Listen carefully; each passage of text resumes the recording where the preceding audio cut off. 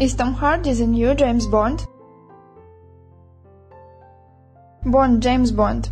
It's the role of a lifetime for many actors, the very definition of an ironic role that has commented the legacy of the likes of Sir Roger Moore and Sean Connery, who was voted the best ever Bond.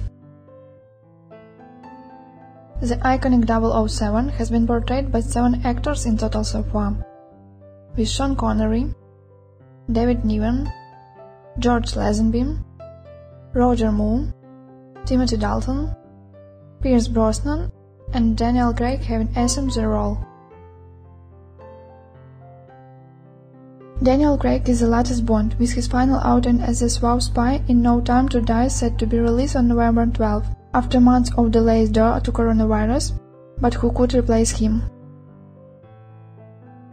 Is Tom Hardy the new Bond? Rumors broke out late on Friday, September 18th, that Peaky Blinders actor Tom Hardy had been confirmed to be given the new license to kill. So no official word has been given yet.